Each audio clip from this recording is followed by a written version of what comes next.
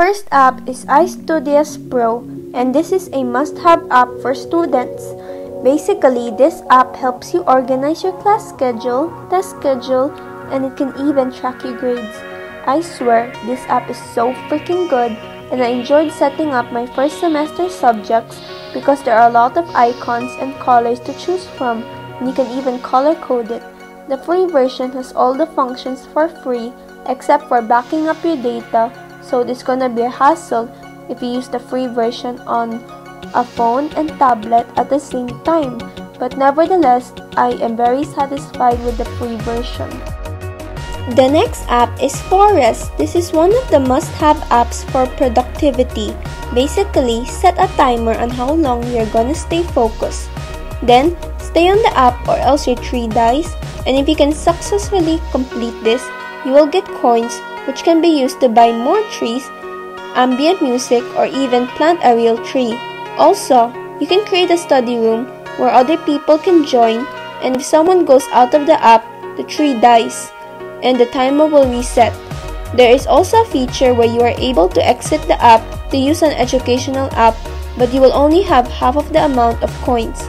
This app costs about $2 which is really affordable and there's an alternative app called Flora which is similarly like Forest except it is free.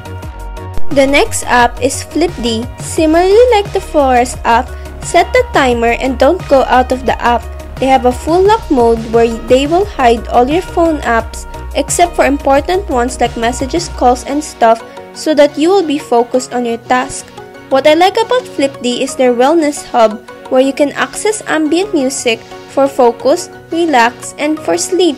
And there are more little podcasts about mental health to promote mental health awareness and how to take care of your mental health. Next is Focus To Do. I also heavily use this app and found it very useful.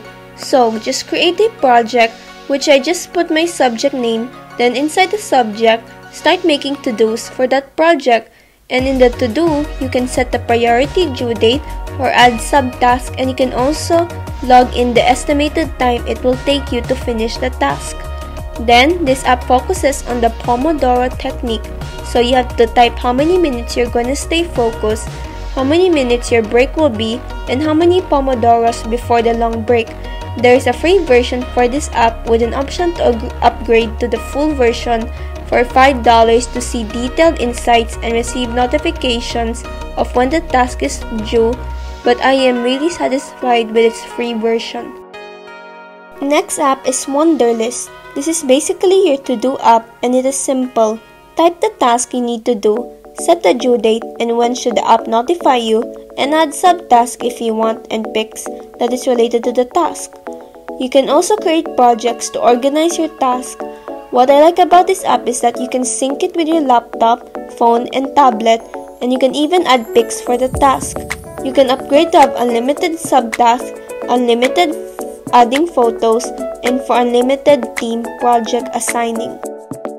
Next is Phone Drive. This app makes syncing easier with my tablet and my laptop.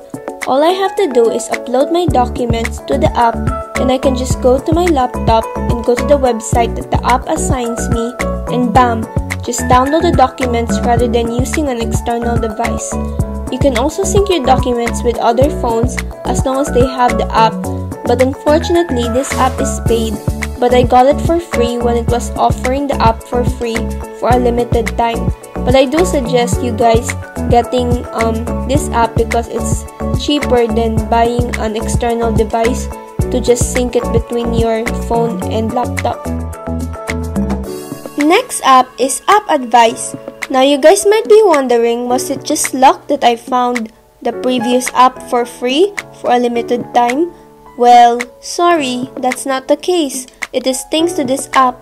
This app basically has a list of free app on each day, and I make it a habit to go check it out every day and see if there are any apps that might be helpful. And let me tell you, I was able to get my Nod, Phone Drive, Studium, Graphing Calculator, and many more apps for free.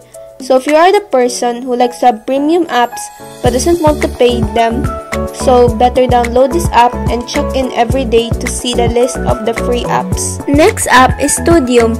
Now this app is just like Quizlet but what I really like about this app is that you are able to highlight and draw in flashcards and there are several ways you can test yourself which is just so cool because you can use different testing styles and you won't get tired of testing yourself the same thing over and over again. Now, I normally use this app if I need pictures to put on my flashcards since I only have the free version of Quizlet which doesn't even support adding flashcards and I also like that this app works on offline so technically if I don't have internet I can still study unlike Quizlet you need to have the pro version to um, unlock the offline cards now, I just wish this app has a sync fe feature where I can sync the flashcards from my tablet to my phone, but otherwise a great app and this is around 4 to $5 but I got it for free thanks to App Advice. The last app is Liquid Text. You probably know this thanks to the ads on YouTube with itself advertising it, but basically this is how I found the app. I heavily use this app when doing essays where I can highlight a certain text and make notes on it. Plus, it can turn web pages to PDF which is cool. And the free version is very limited for me and the full version is also a little bit expensive. So even if they lower the price for students, um, it's still expensive because the one-time one is around 1,000 pesos which is around $20 but subscriptions around 500 pesos every month but I don't want to pay. But then again, the app is really great in annotating and connecting ideas from the paragraph to you. So it's basically like a mind map. So I guess the uh, the price may be worth it because it's really high quality. So, I hope you guys like this video and good luck to anyone going back to school. And since today is September 1st, drum roll! I would have been in my 7th year at Hogwarts which is grad last year and about to be graduated. And I would have been with my Hufflepuff people because I'm a Hufflepuff if only Hogwarts existed because I would rather go there. So this is the end of my back to school series 2019 and I created a playlist for it so you can find my back to school videos easily. And check back to next week's video. It will be stationery collection. A lot of it. It's like a video series again so better be prepared. So if you like this video give it a thumbs up subscribe and hit the notification bell to be notified and I will see you guys in my next video. Bye!